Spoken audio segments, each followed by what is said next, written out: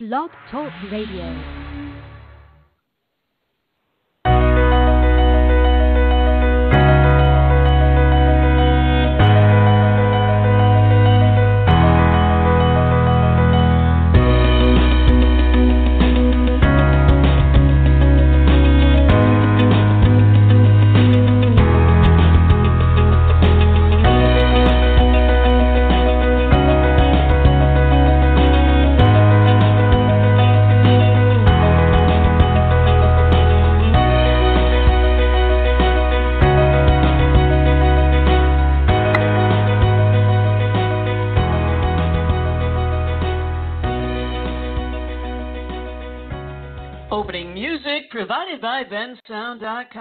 Welcome everyone to today's Earth Energy Forecast show on this Tuesday, June 23rd, 2020.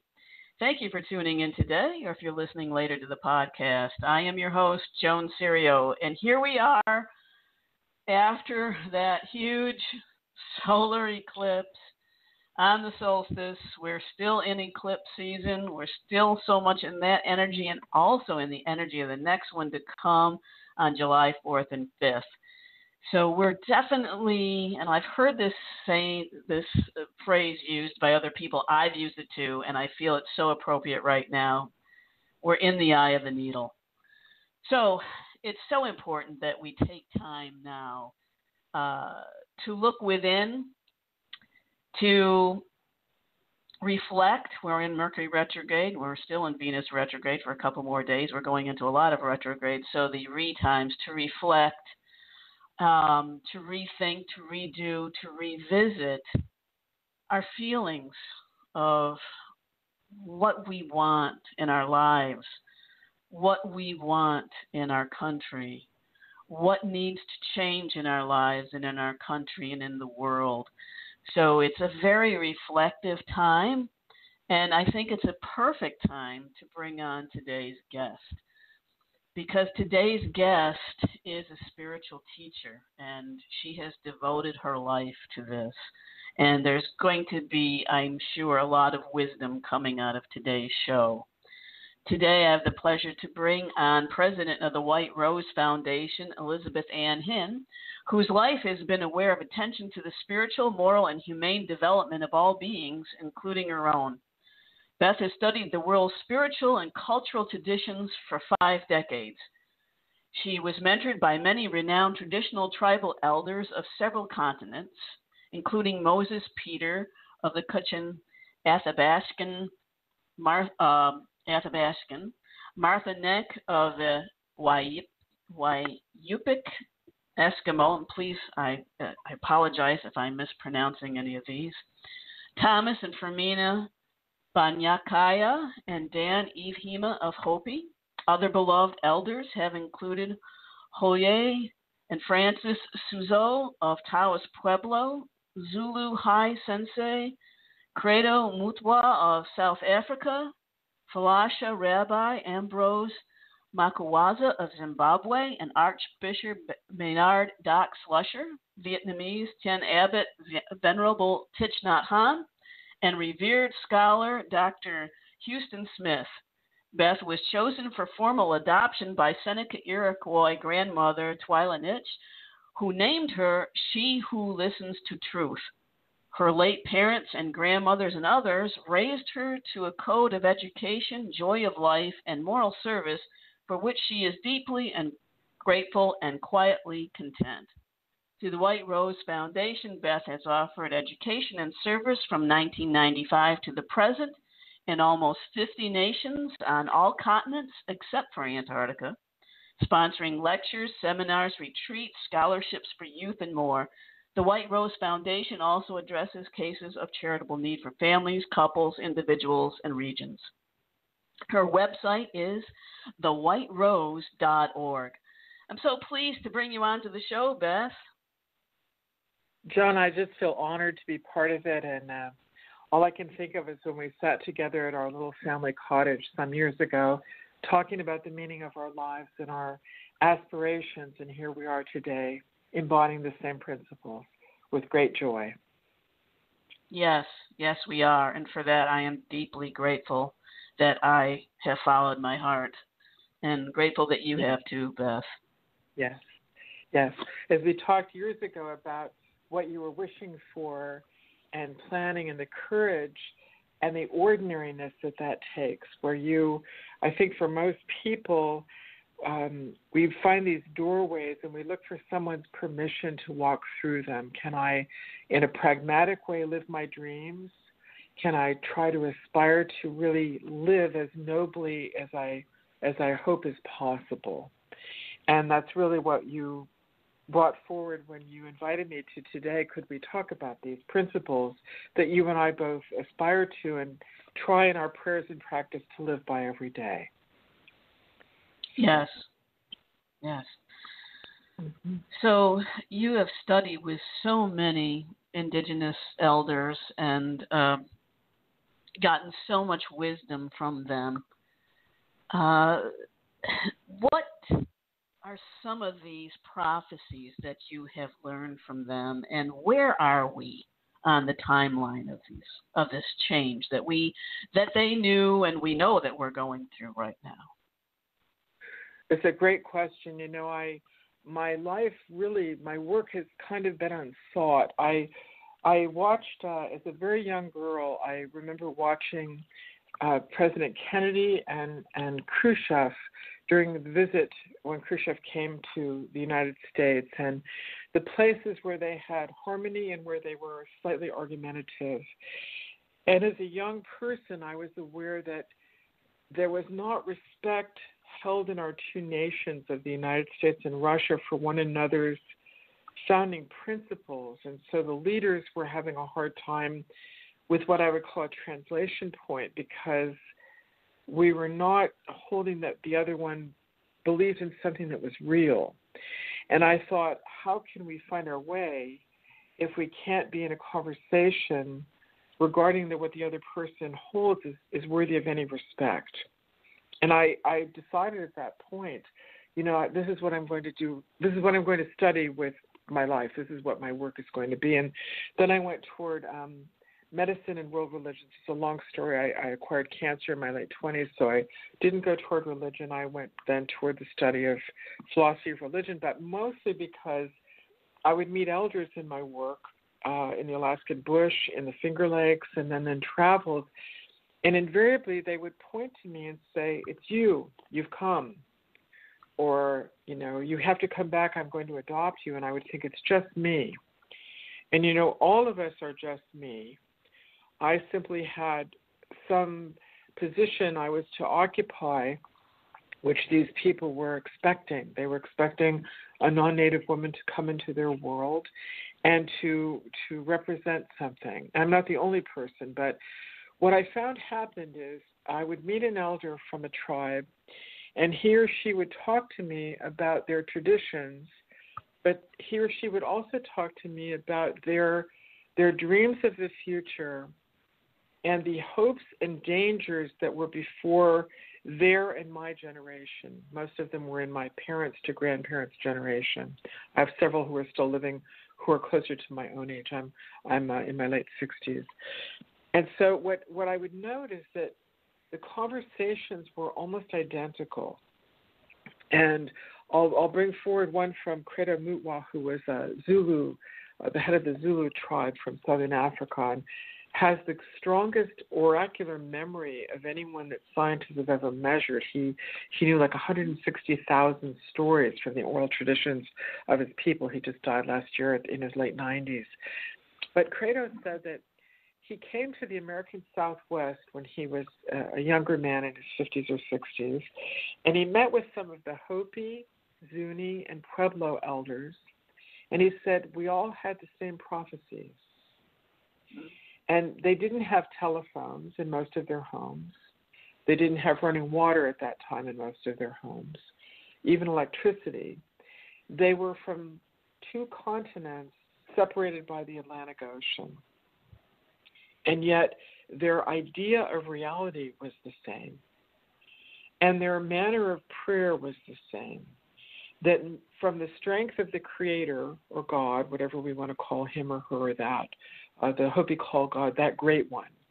So from that great one, to all people through our ancestors. They all had different traditions, but they were very reverent about them. In the present of their lives, then as middle aged people and medicine men and women and tribal leaders, both sacredly and in a secular manner, they were trying to hold a directional compass that would guide us safely to the stars on earth through our generation and into the next generations to come. And they found in that that they all had an almost identical prophecy. I found this so interesting that this would be in remote areas of the world, you know, the, the far northern mm-hmm. uh, areas above the Arctic Circle in Alaska, and then the far southern areas down near, you know, the, the tip of the of the Horn of Africa. How could they possibly have a, the same story that they were telling? And it wasn't a story of history it was a story that at a certain time, the entire human race would be affected by a question which would come to us. And at that time, according to the integrity by which we should willingly choose to live, tribe to tribe to tribe to tribe, individual to individual, man to man, woman to woman, could we represent it so that we would find a way that the earth might be sustained, the plants and animals shepherded, the human beings adequately realized that we would go beyond weapons into what the Hopi called the Great Peace. Or the Fifth World. The Navajo also used the Diné people also used the word the Fifth World. Uh, the Navajo use the the dragonfly as emblematic as a symbol of this world, beyond the crucifixion of the Christians into a transcendent embodiment of a being like Jesus or a being like a great sacred figure from any tradition. So many of the people listening today will, will be from a Judeo Christian tradition, so it's beautiful to bring that principle for them of the importance of Jesus into their lives. And for anyone who's listening from other traditions, we could bring like ideas from other faith traditions from our world. But what, what was talked about in Hopi that Credo also brought forward is that at this time, and the, the Hopi have a prophecy rock, this very tall rock that's over near uh, near their dump, actually, up on, on one of the high mesas, and in mm-hmm. it is mm-hmm. carved a, a low line. Below it is a, a man with a shepherd's crook. They call him Messiah, a son of God, and they say, in every era, Messiah is incarnated. He comes to the earth as a male figure. There's always a female with him. It might be his mother, a wife, a daughter, a, colleague. But he's presented as the male, the active figure, but he doesn't have a weapon. He has a planting stick or shepherd's crook, and he is planting his corn. He's at the very left base of the of the of the stone, and then we see a line drawn up, and that at this time we come to a period when we can go one of two ways. If we go the lower path, we follow the path of the Good Shepherd walking, caring for the earth, for creatures, one another. And then we find our way and, and we resolve into integrating into this era. If we do not do this and we go into the chaos of a kind of argument, warfare, we go to an upper line, which some of the Hopis say uh, is broken in two places. The first one uh, being interpreted by many people as the First World War, the second break in the line, the Second World War, and then the third break, should it occur, is a Third World War or a, a, a sort of a conflict of life and consciousness where all of the beings are like monsters with their heads cut off, flying into mm-hmm. space, so that the human life as we know it would be wasted, would not be realized. And the Hopi have held for at least since the era just before the Second World War, they have held that it was critical that at this time we would choose the lower line. And I talk about this. Uh, the late Thomas Banyacya and his wife Fermina were very close to me. Mm-hmm. They are they are buried in blankets, which my family presented to them, which are a Pendleton Circle of uh, Elders blanket, this beautiful Circle of Life blanket that has colors of the four tribes from the medicine wheel. And it was very important to Thomas that that would be how they would be buried. And Fermina contacted me and asked after Thomas died if I would obtain a blanket so she might be also buried in one. And then the family notified me after each of their deaths that this is how they were adorned. Usually, a Hopi person is buried in his or her wedding regalia and not spoken of after three to five days after their death so that we may let them rest. But Thomas was chosen uh, during the World War II era as one of a handful of young men who were told to go into the world that humanity may know of this era to come, that we might know of the classroom all of us as human beings were to embody, and that the Hopi were one of the tribes on the earth who were to be fathers and mothers of this great peace. So he asked me, you, you don't pass on your lineage in Hopi through the father and then the mother. It comes through the clan of the mother and then the clan of the father, so that we don't form our son as the next leader and then our, and then his son and his son. It forms on through which one of the children of the mothers and then the fathers is to be the leader in this way or in this way. So he was not allowed to pick his son Thomas Banyacya Jr., who has done a great deal of wonderful work with his father. So I I don't know what he asked of other people. I, I do know through some colleagues pieces of work he had asked of them, but he asked of me a thousand times, no matter what happens on the face of this earth, you must promise me you will never stop teaching. And I would think it's just me, you know, it's just me which is how Thomas felt about himself. He said, I thought that we'd teach for three years, maybe five, about the prophecies and do ceremonies and it didn't go on for three or five years. It went on for half a century in his life until he mm-hmm. died in his in his 80s. And so for me, I find that it comes to me that I am simply to represent this. And then from Credo, the same stories. We will come to this time. At this time, we, the human race, must willingly, in our free will, make the choice or not. And so, in this period of the COVID 19 pandemic, isn't it fascinating that it isn't warfare that has turned us to a global civilization, but a tiny creature that doesn't have a life force of its own? You know, the, the virus is not able to live right. on its own right? They don't evolve, they devolve and slowly fall away unless they find a way to continue living off of, you know, the, the creatures around them. So we have people willingly shepherding each other, caring for the elderly and the sensitive by by remaining in a diligent spiritual practice of great maturity all across the face of the earth. And in an interior period where people with and without strong spiritual and virtuous practices are still living in a deeply spiritual and virtuous manner as human beings. And so, philosophically, the question is before us what shall we be, the human race, together, and as the collectives of our nations, and as one human race, bringing forward our history of various races and cultures and tribes yet not identifying with conflict, but bridging those scars into a capacity as a civilization together.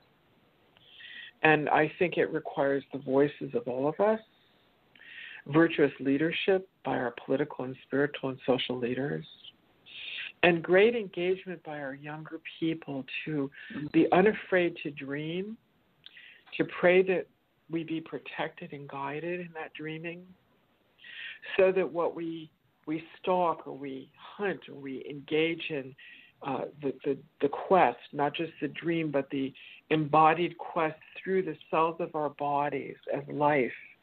So that goes beyond the predator and prey into the humane being. What might that look like? What might that look like? And so this is the question I feel is before the entire human race as we pass through this very powerful year. Yes, and we can see that from all of the protesters that are protesting yes. the inequity that we've had in this the whole world. I mean, it may have started yes. here in the United States, but it's it's prolific throughout the world now. And so it feels like we're all asking that question uh, what you know, like I said at the top of the show, what what is it that we want to become? What is it that we want in this world? And you said the same thing. How then are we choosing? How are we to choose? Let's put it that way, what it is that will um, guide us through this time because you honor every tradition, every religious tradition, every indigenous tradition, you know, w- whatever it might be. You are that bridge. So, as a bridge, what tools, what bridging will we need at this time to hear each other and to make these changes? Well, you know, historically, we tend to, without realizing it, define that someone wins and someone loses, or that there is a conquest, or there's an argument and there's a winner to the argument. So I was speaking recently with a colleague of mine who's a deep Christian. This is several months ago, and he was very inflamed about uh, radical Islam, and it had caused him so much upsetment that he had a difficult time being tolerant of anything in the Islamic faith. And so, no matter what I would bring forward, he would tend to be heartbroken of over several people who'd been killed in London where he lives. And I I said, you know, um, did you know that?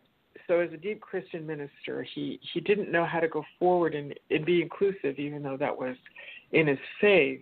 He couldn't find a way to include Islam beside himself as a Christian. So he was angry at the idea of Muhammad. So Muslim would say, Muhammad, peace and blessing be upon him. So we were having, let's say, an argument between Muhammad and Jesus. And then I, I thought, how can I answer this minister in a way that would bring his mercy, God's mercy forth in him, or tolerance, because he just couldn't find a way that he didn't feel he was going to be conquered or tricked. And I said, Did you know that the grave of Muhammad has an empty grave next to it for Jesus when he comes back in his second coming? So that the Muslim people are honoring and awaiting him because he's one of their prophets and they they feel they are to take care of him when he comes back. He was astonished. He didn't he he had never heard of this. Most people I know never have heard of this. He mm-hmm. it it totally transformed his idea of what a Muslim person is about. And I said, Well, you know, the word Islam means surrender. They're not surrendered to some kind of harm. They're they're practicing where we are going with the rest of us. So if Jesus should come back and live on the earth in whatever way, then he could live safely, not be crucified, but safely from his conception and birth until he is safely buried beside the prophet, the most esteemed of all Muslims. Right? It's a very that's a bridge. There's a, there's something there mm-hmm. that we simply mm-hmm. did not know. So most of what happens, whether it's with Kennedy and Khrushchev or with my my friend the minister, we find a place where we can't find the translation point, and so we try to be the predator or the winner, because we are sure, you know, according to our history, someone else will come in and they will win, or they will harm my child or my my spouse or partner or my my job and and I will be I will be beaten down in some way or I will win and I will have more money or more power. So but actually truth doesn't work that way. Truth moves toward realization. So two dual ideas come in and there's always something that isn't the dualism or the opposition but the bridge between them. And because we're not intellectually trained this way, we all too often go to the mind and choose this is good, this is bad. No, this is good, this is bad. And it's not until we let the mind be an observer, which is there to protect us with discernment, but it's more like looking through an open window at a beautiful day. You're in the Finger Lakes, so back looking out over one of the lakes and the hillsides, you know, which is the family of the the place of my family and my my youth. My my brother and sister and their families are are still there. I still consider that to be my home. So if we're looking over the hillsides and the trees and the lakes and the and and the, the little towns and cities and farms, we look out and our mind is able to observe without judgment. And then all of a sudden something comes in and we judge it. This is bad or this is good. This is bad compared to me or this is good compared to me. And then we do this with another person until someone wins. But I talked with a, a close friend of mine, Reverend Cedric Gardner, who's in Atlanta last weekend. Uh, he's an African American man whom I've known for three decades. He was conducting a beautiful class, and I brought an idea forward because I, I was aware that in our in our very cells of our body, we're trying to find like what happened. And so, if we go to all the racial arguments right now or cultural arguments, and we have a Danish person and we have a, a person from Zimbabwe, and we they're they're both mixed race people. They may not even know their total heritage. I go, how do we begin or end with how many tribes they each come from? Which tribe wins? And the answer I gave was I said, you know, in your cell, you you have the the uh, aspects that make up one of your one of your blood cells or one of the cells of your body, and about ninety some percent of that cell is empty space.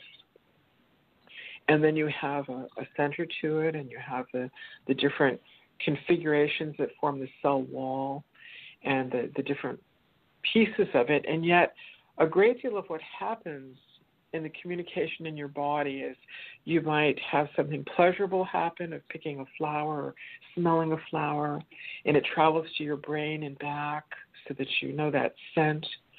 Or you might have something painful happen. I cut my um my wrist on a on a jar we were catching bumblebees in corning where i grew up when i was a very little girl and in the driveway and we had a mayonnaise jar and had punched holes in the top, and we were catching this gorgeous, fluffy bumblebee. And I fell down, and the glass broke, and it cut my wrist. So I came into the house, you know, and my mother was more shocked at the blood than I was, and she wrapped a towel around it and drove me to Dr. Mulcahy's uh, little office over in Corning, and he set me up on the his little bench and said, "Oh, Betsy, you have a good one here." He put five stitches in, but he said to me, do you know why this hurts? It's the most amazing thing. Your cell that was cut leaps across the big space in it to the next cell, and then across that space to the next cell, all the way up to your brain and all the way back. And it isn't until it comes all the way back that your cell that was cut knows that that's pain. He said, Isn't that a wonderful thing? So the pain was not upsetting to me. The pain was a gift of knowing that my body needed to be cared for by such a benevolent human being. And his cells had the synapses leaping across to his brain to know just how to move his fingers with that thread and needle to sew up my little wrist. And then I jumped down, went out to my mother, and we went home.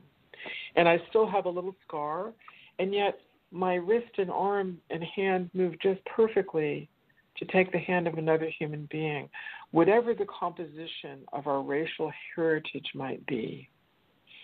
So that through the synapses, the space in all of us that a Christian might call the Holy Spirit, that a Muslim might call baraka or grace, that we might be unafraid of that gift of the Creator, of God, that great one, Mother, Father, Yahweh, Allah, the universe, if we're a, a sort of cosmologist and we talk in a secular way, and we realize we take our next breath unafraid of that state, and all of a sudden, even a little child will know what to do.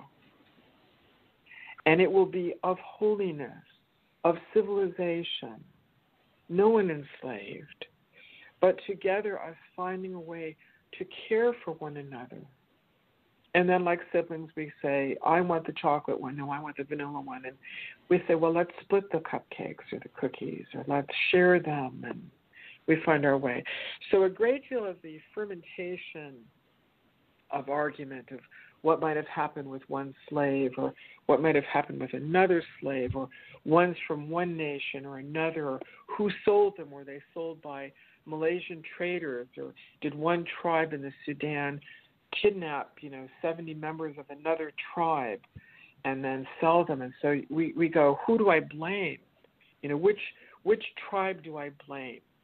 And so going back and trying to have that eye for an eye, there's that old uh, sort of silly but true quote an eye for an eye will render the world blind. Mm-hmm. And so we we can't dismantle the scar by disabusing one another through violence. It becomes realizing many tragic things have occurred. And I am responsible for all of them as a global citizen. And I will do my best to be that living bridge through all the synapses, all the spaces of my cells, that I reverently care for all of the cells of my body to the best of my ability, and I bow to them and take the shake the hand or bow to them in another human being. And that we mm-hmm. do our best together. Then what I find happens is something is revealed. There's this idea of revelation coming to the prophets of different faiths or different cultures, but something is revealed to all of us at moments when we are able to be a receptacle or a vessel which receives beyond violence. We don't know when it's coming, yet it's there in every breath. So if we practice it, we start to be the instrument of that great peace. That Jesus called it the peace that passeth all understanding. And mm-hmm. then when we practice this, we are content. We are not disturbed. We might have to build more muscle of that part of our soul and our spirit and our life. But we are on our path and there is there is a contented meaning.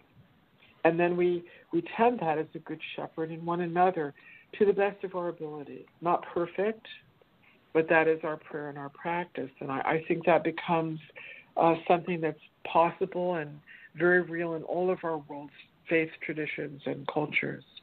And I, I feel that's very much where we are today. Mm-hmm.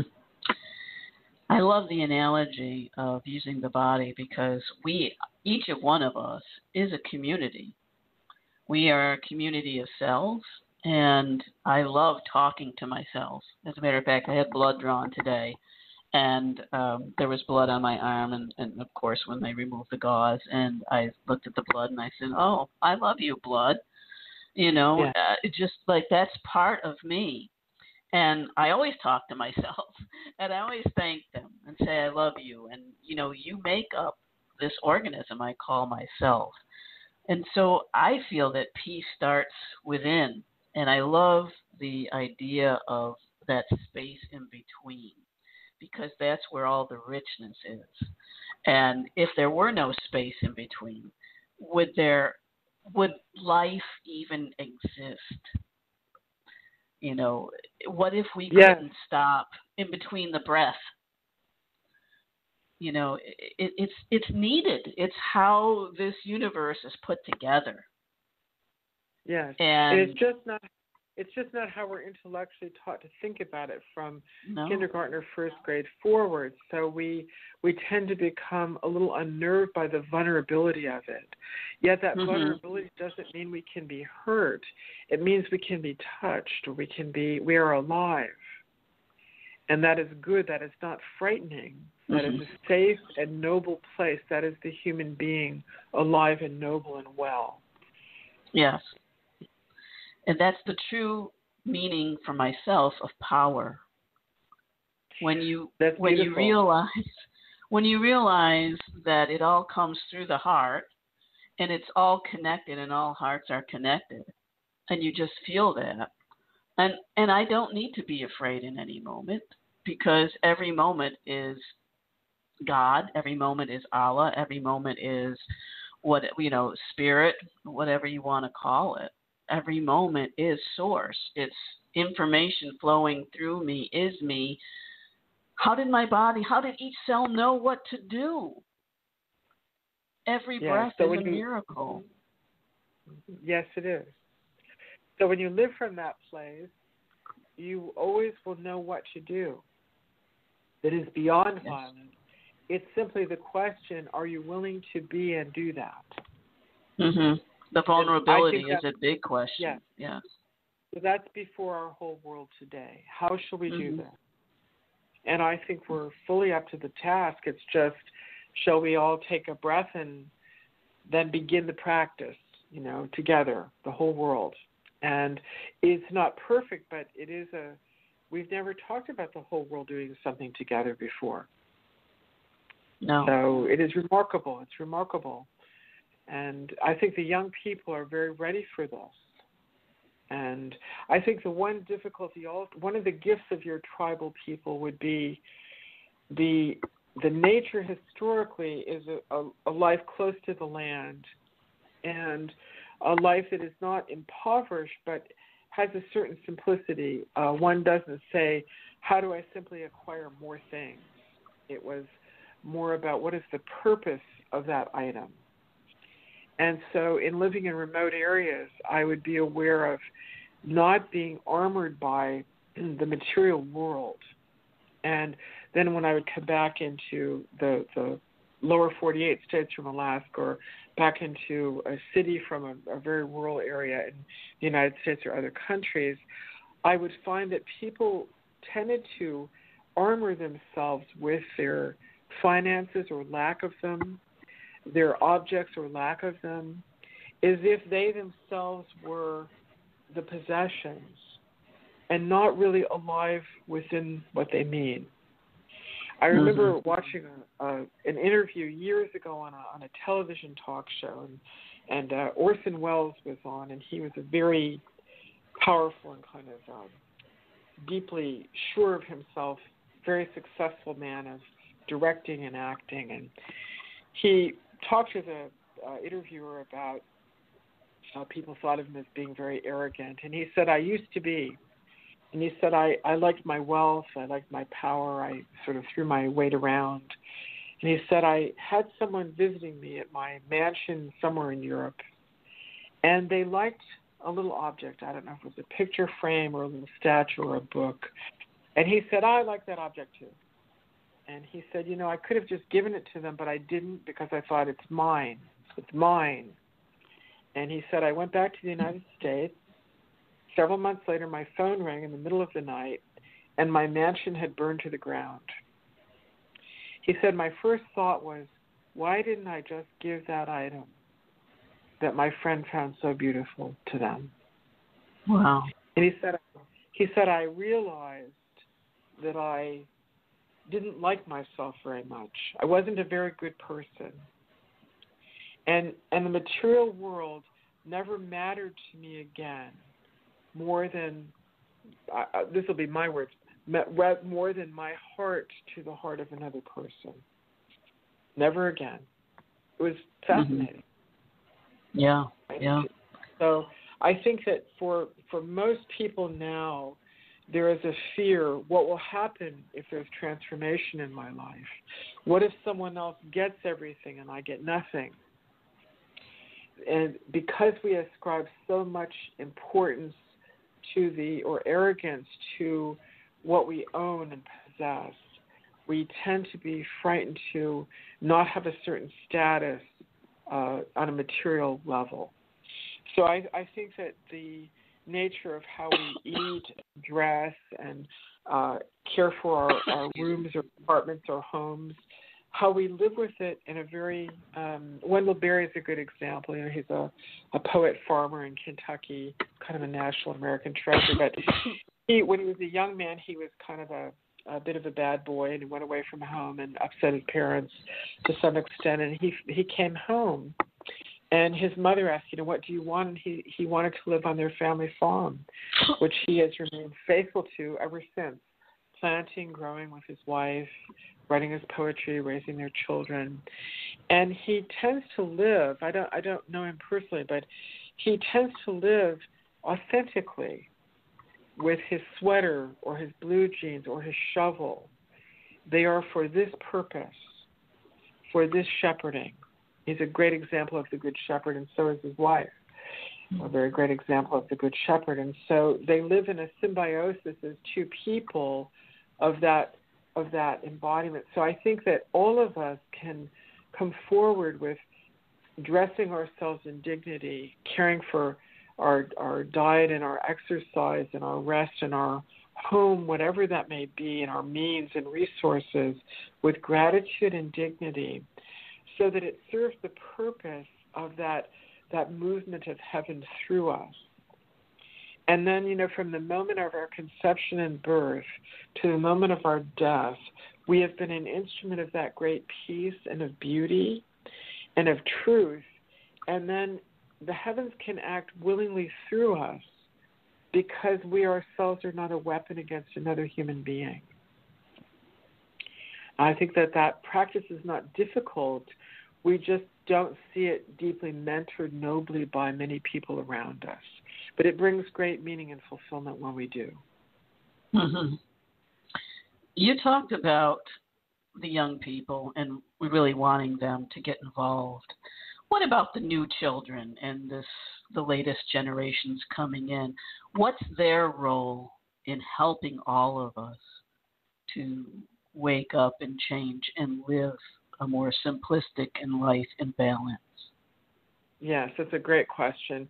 Well, um, in uh, about 1989 90, I was working on a doctorate. I had a full fellowship at the University of Iowa in uh, comparative religions, and I was sitting very late at night writing a paper, and uh, I had a mystical experience. And for various people, um, I'm going to go into terrain that is comfortable for some people and not for others, and we have different belief systems of how we hold ideas that happen. But I'll try to describe it in a way that I think is universally possible for people. I had two great beings come to me. I would call them angels, and they let me know there is a job for you. And I was just aware. I set my pen down and thought my mother's going to kill me, not literally, but my mother's going to kill me. There goes my doctorate. But they just came to me, and in the in the space around me, in this deep state, at about one thirty or two in the morning, they just said there is a job for you, and I I set my pen down. And uh, I talked to Blaine, with whom I've worked for 35 years. Blaine Glass, uh, man, we've known each other since uh, the mid 1980s and do a, a lot of service work and run the foundation together. And um, I told him the next day, you know, I had this experience, and he said, "Well, what do you think it means, pal?" And I said, "I don't know. We'll have to see. I'll have to see." And over the next uh, year, I I let go of the program. I was aware I didn't have whatever it would be to do the program and also whatever this was being asked of me. And I moved out to the southwestern United States and, and uh, brought my mother out with me for half the year into a little excuse me into a little apartment nearby. And then she would come back to our little summer cottage that my dad built during the year my parents were pregnant with me in 1953. His my dad's parents had owned it before that, and uh, my dad had torn it down and then and then built a new little building that stands to this day just eight miles south of Penn Yan, New York. So um, I she would be there in the summer and then she came out to to Santa Fe with me in the wintertime. So I, I moved to Santa Fe. And Blaine came with me, and he was working at a business. And one day he came back and we were having dinner together, and he he said to me, you know, the the owner's son is very very upset his fiance has broken off their engagement and he doesn't know what to do. And I said to Blaine, you know, if he would like to, I'll be happy to talk with him. If if he feels it would be helpful, I'd just love to do that as a gift for him. If he doesn't want to, that's great. But I, I if he'd like to, I'd be happy to talk with him. And this man, his name was Willie, he came to see me and I talked to him about the fiance and I said, you know, if she's met someone else and lied to you about it, before you're married, I think it's good for you to know this now and to see that your ethics are, are very different from one another's, you not being able to work them out. Maybe there's someone else for you. At least there is the noble part of yourself that can know that you loved her and that you are letting her go now because of the ethical differences between you. And I talked to him about taking care of his parents and his work and his own life and his and I asked him what his dreams were and he went out into his life and about a month later an old girlfriend of his ran into him and said, What happened to you? You know, you're you're so great, you should be suffering now. And he said, Well I went to see this woman and then she called Blaine and asked, Could I come see her? And then they told someone and they told someone and I, I saw thousands of people. It's the most interesting thing because I'm also very ordinary. And in the middle of these thousands of people who came, We had a two year waiting list at one point. Uh, I had people want me to be on television, and I had these different interesting things. If you just lose weight and have a little plastic surgery, we could get you an agent, and you could be so amazing. And I said, no, no, that's not what we're doing here. so, not that that's a bad thing. You know, we're not we're not go- going in that direction. But I had a couple come to see me the woman had gone to my college, Smith College in Massachusetts, and the man uh, made some things for the Metropolitan Museum uh, or the Metropolitan Opera Company's gift store. And they were visiting her mother in Santa Fe. And they came to see me, and they were pregnant with their first child. And they asked me about the child. And I was very aware of the child, and I was aware that I wanted to talk to them about things that mystically we all always have things we talk about and don't talk about, reveal and don't reveal. I don't mean that we keep things secret or hidden in a treacherous way, but I remember being uh, 12 and coming into my mother's parents' kitchen in their home, and and the women didn't change the subject for me as a child, they continued talking as adult women. And I thought, I see I'm becoming a woman. They are keeping the stories on a mature adult level and including me now. This can be revealed to me now. And so, in the spiritual work in which I've been trained, we, we have a priest or we have a rabbi or a minister, and they might say a blessing for a married couple. And all of a sudden, when they put their hands on the couple's hands or they say, "With please take the ring out," and I will say, "I will ask for God's blessing on your marriage." Something is revealed, and then we interpret it as a couple, a family, a congregation, a community. And so there is what is quiet and internal, and then all of a sudden what is public and evident, self evident among us. And then when this occurs in a codified way, we say girls can go to school, women can vote, men are to be appreciated for all the work they do, bringing their bodies forward, not as armor, but through that Y chromosome to shepherd and care for us throughout the centuries.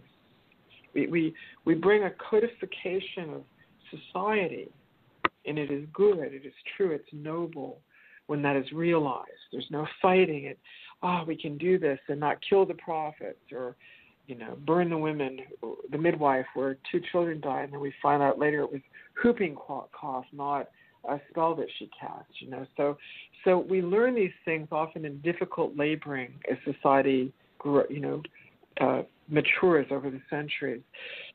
So I, I said to the couple, you know, I just never have done this before, but I really just don't know what to say to you. I, I'm just going to have to think about this a little. Maybe we could reschedule for Thursday afternoon. And I ended the session and had them go home. And I closed the door behind them. And I looked up at the heavens and I said, it's just not done. It's just not talked about. It's just not talked about.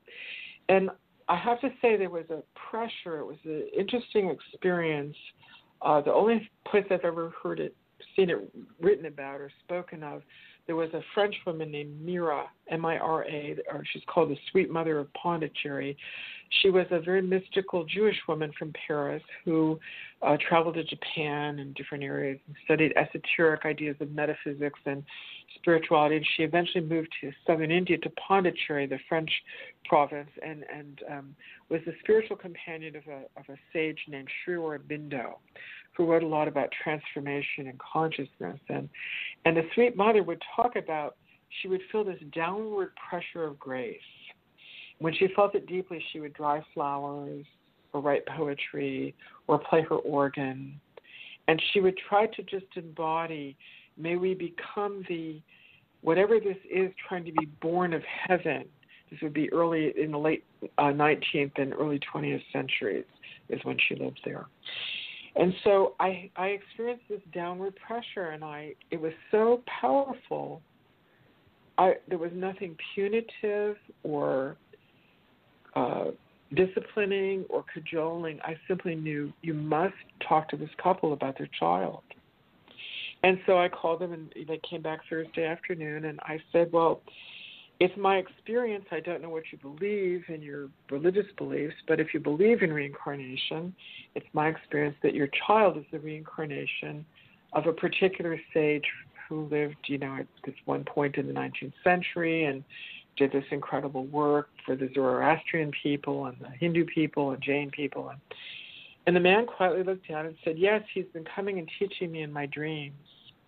He wants to be hmm. named this he wears a white robe and walks down a long line of people, teaching and blessing them, and has me walking in a white robe right behind him.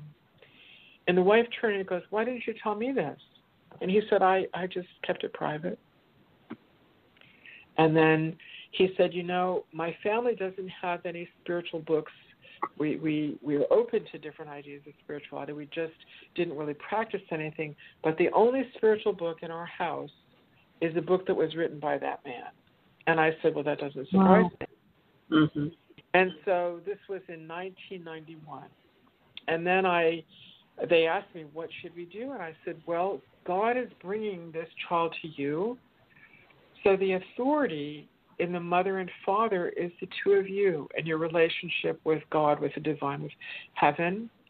I would try to be virtuous, you know, inclusive with your family, supporting the child with one in society would support internal gifts, just like we might say, gee, we have a child who's musical or athletic, so let's bring them, buy them a flute or give them guitar or piano lessons or voice, you know, have them sing in the school choir or let's have them run or play baseball in elementary school or, you know, buy a baseball mitt and, and play catch with them or frisbee or, and so I said in the same way, these are internal gifts and you might want to work with him and be with him and I imagine he'll be or she'll be very ordinary and then all of a sudden there'll be some extraordinary comment that he or she'll make.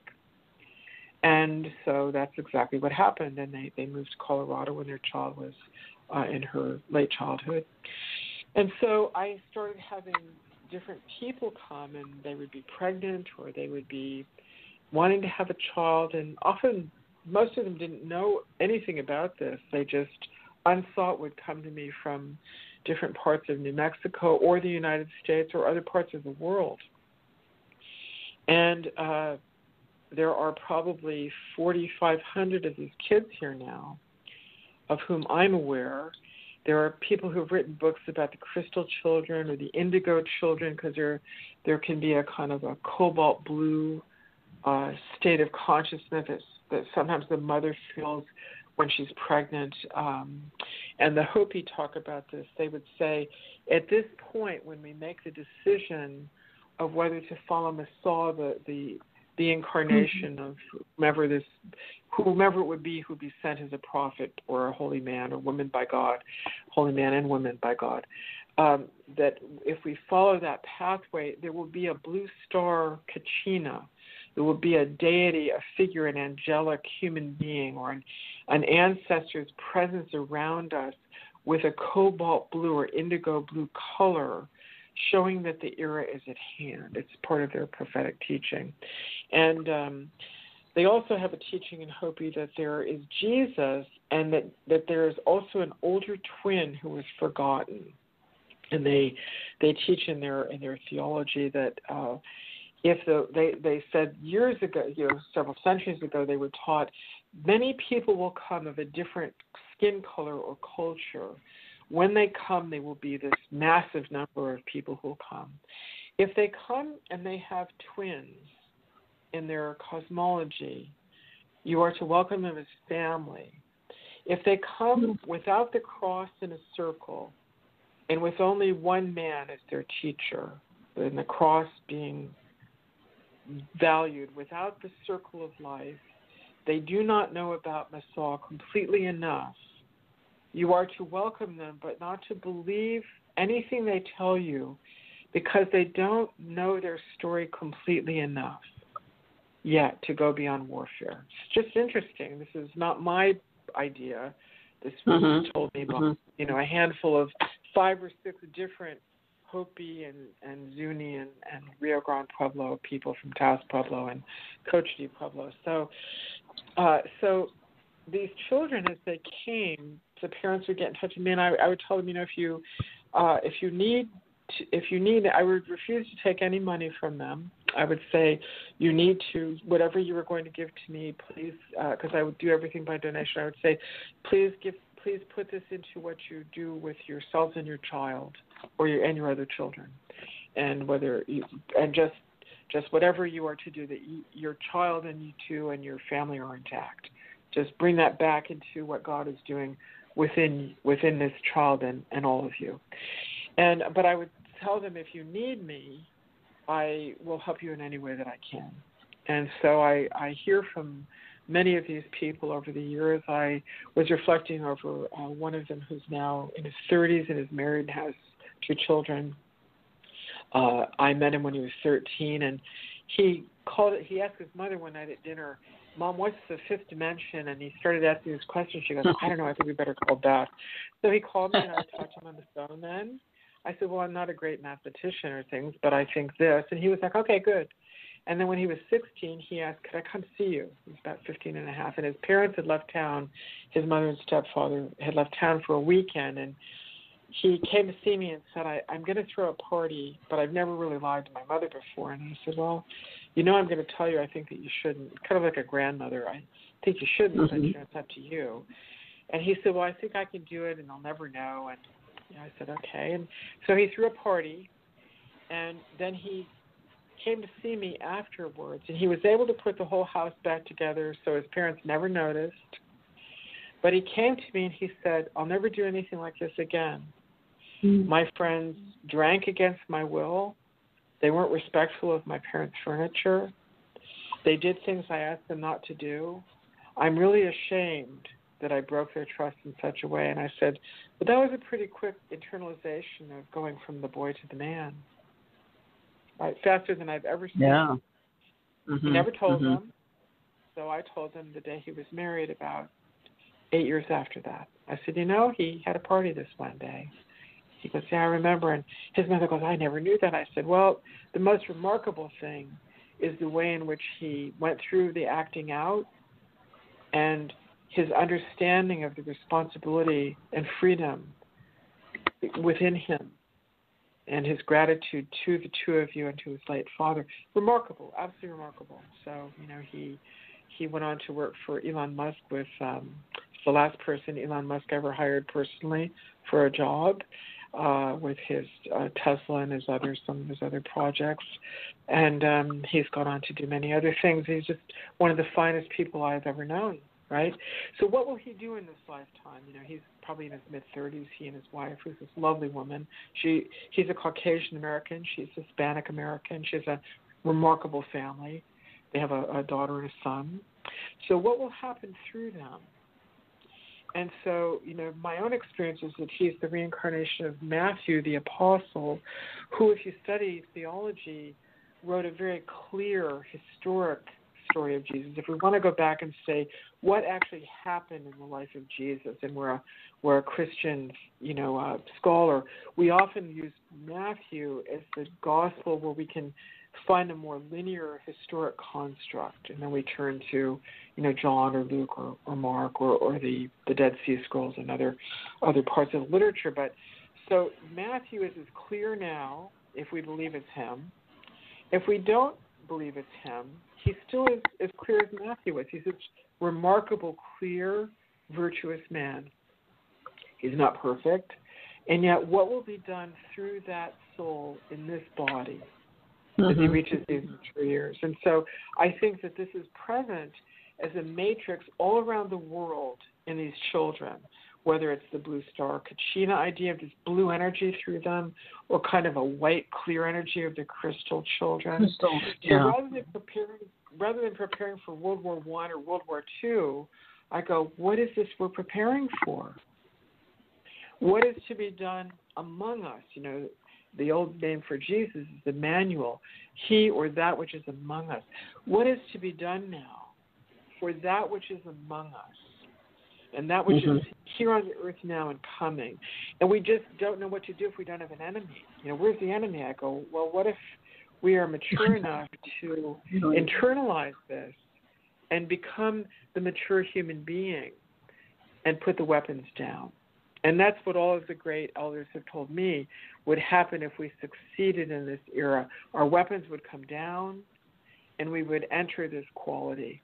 I met Dan Evehema uh, in his years. He was over 100 years old when I met him. He lived to be 106. And uh, Thomas Banyacya Jr. told me he was the greatest soul, the holiest being that, that Thomas Jr. had ever met really his great mentor. And he would Dan would sing to his corn. He would plant with his planting stick until he was 105. And he when he met me, he he I, we opened the door to his little home and I walked in and he pointed his finger and said, "It's you. You've come." And then he made the other two men with me, Blaine and, and Seth Rothman, leave.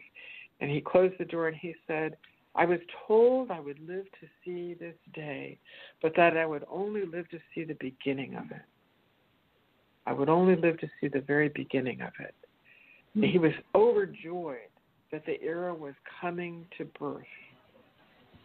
And then when the men came back to the house, he said, Now you must go. I must do ceremony and smoke, use tobacco for, cer- for deep ceremony. Yeah. So, you know, what is this that's before us all? And how are we equal in dignity as we embody what's before us? And so I'd like to add one more yeah. thing, uh, mm-hmm. which is a story from the United Nations that I've told many times. I, the UN, um, the Hopi had a, a prophecy that the House of Mica was this important building for the world, and they came. The leaders came to say the House of Mica was the United Nations headquarters in New York City for them, and that they were to be invited three times, and that it was very important that they be invited. And allowed to present their prophecies and teachings and to conduct ceremony. So they were invited twice, and I was contacted in the 1980s and told by someone, the Hopi are so worried they haven't been invited back a third time. And when they've tried to bring political agendas, they're pushed aside as a kind of tribal people and not being politically or financially important enough. And they know that prophetically it's necessary for this third time. So I was able to arrange through Sri Chinmoy a Hindu uh, leader who was the uh, the Hindu chaplain for our, our U.S. Congress and for the United Nations. I was able to arrange through him for Thomas Banyacya and others to be invited to come and speak ceremonially at the UN. On the day that they went, the largest thunderstorm recorded in the history of New York occurred directly over the United Nations mm-hmm. when they spoke. And then four years ago, I was contacted by the UN. I spoke. I've spoken for them before in China during the big UN Women's Conference in 1995. I was their speaker on Chinese uh, religion and culture and and uh, and cosmology and religion and culture. But I was contacted out of the blue four years ago. You know, and I, I have a life that's ordinary and extraordinary, but I'm not a famous person in a big um, corporate or political or, or financial manner out in our world. I have a very modest, uh, very private life, actually. And so mm-hmm. I was contacted by the United Nations, and they had sought 150 people they knew of from around the world because they said, everyone at the United Nations is arguing. We can't get them to stop fighting. And if our member nations leaders are not able to work collaboratively about race, and equality. Everyone's fighting over that nothing's equal. And of course, a basketball, I can't play basketball. You know, I can't can't make jewelry. I can't. I couldn't farm corn. I could try, but I have friends who can do any of those things. One can do one, one can do another, and yet their fighting was over. Well, I want to do this. Well, I want to do that. Well, I want to do this. Well, I'm not equal. And they said no matter what they tried in all of their um, aspects of statesmanship and sophistication, they could not get the fighting to stop. It was it was breaking out everywhere, and they were frightened. They said, if this is happening here, it is a harbinger of war. They they just knew that there would come a point when they couldn't contain it. So what they did is they they invited 150 people from around the world to come, including me, and we came in for one day and and we stayed in in different areas around New York. I came and stayed at the Cornell Club. They arranged for me to come because my dad and my brothers all went to Cornell, and So the Cornell Club arranged for me to come and stay with them overnight. So I came and stayed and, and went over to the headquarters and we went into the security rooms, the, the beautiful security chamber rooms. And we met with who, Ban Ki moon, who was then the Secretary General. He's a Korean man, extraordinary man, head of UNICEF. And we sat for eight hours together and we came up with one statement all human beings are equal in dignity. And then we went home. And that line was written into the law of every member nation of the United Nations on that from that day forward. No one will ever know our name. We represented the human race. And so that bridge is present in the law of the United Nations. And the, the land of the United Nations sits on the, the river to the east side of Manhattan, looking over toward Brooklyn and Bronx and Queens. But the land is, is leased out or gifted to the world. That land is not considered American land, it's considered to belong to the world. Right? And on that land, where the Hopi came after such fear that they would not be invited a third time, we were invited to quietly construct that line. And I am certain that that line will not fail. I am absolutely certain all human beings are created in dignity. So if we can live from that, whomever we believe these children to be, may we pray that we be protected, guided in all ways, that that which is the good shepherd in girl, boy, man, woman, transgender person, anywhere on our earth, move with as the very grace of God incarnate through your beloved selves that you sing so beautifully, like Walt Whitman spoke of, out through the Finger Lakes and me here in Texas today, that we do this for all people, that our past and our present and our future become that beautiful embodiment entrusted to us by these great elders from all over the world. That would be such a fulfillment.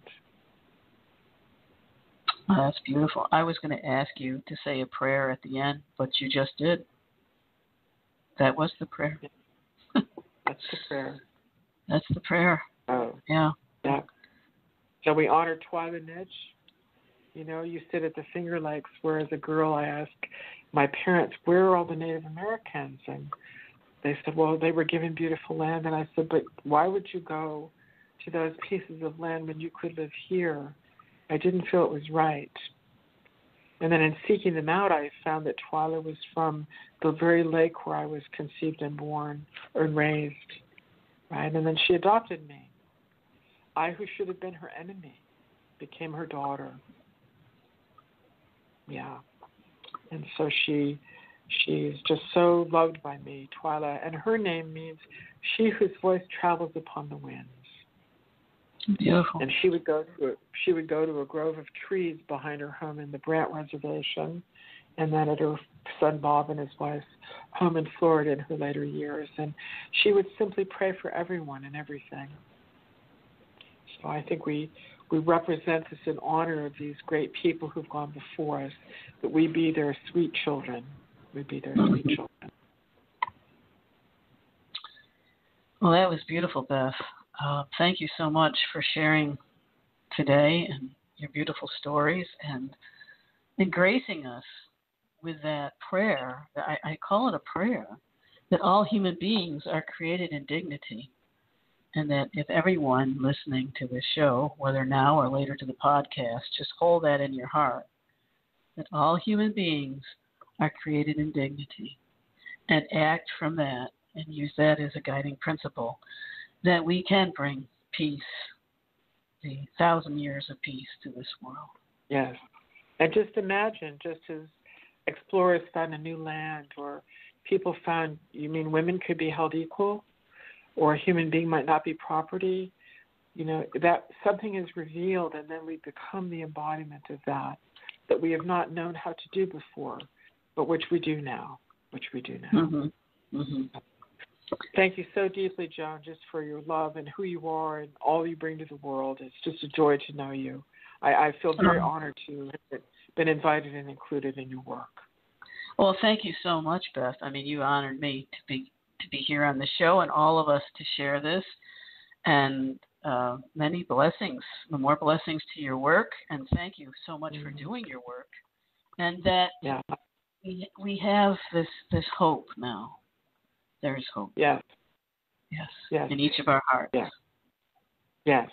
And if I, you know, as a mystic, if I felt we were going in a dangerous way, I'd be the first one to say so because we'd have to prepare our children in a different manner. Yeah, but we need to prepare our children now for something awake and love that they have the courage to know that and be that. And then if we pray and practice that, we become the model for them. And we just do our best. Nobly and humbly, we do our best. So please say hi to the Finger Lakes for me. I, I won't be coming up this next month because of the restrictions on travel and just the shepherding, but say hello to that glorious place of Queen Anne's lace and grapevines and gorgeous weather and people everywhere. So mm-hmm. yeah, and everyone there mm-hmm. take take good care of take good care of yourselves and each other there in that most blessed place. Oh, thank you so much, Beth. And please take care of yourself and Blaine. And thank you so much for being on the show today. I will. My privilege. Thank you. So, for next week's show, we have Eagle Spirit coming back on, and uh, she's going to talk about finding calm in the chaos and her five self care tips for sensitive souls to, stri- to thrive rather than survive during this powerfully creative time. So I hope you will join us next week for that. And for the rest of the day, please hold that in your heart. All beings are created in dignity and act that way. And we will change this world one being at a time. Much love, everyone. Enjoy the rest of your Tuesday.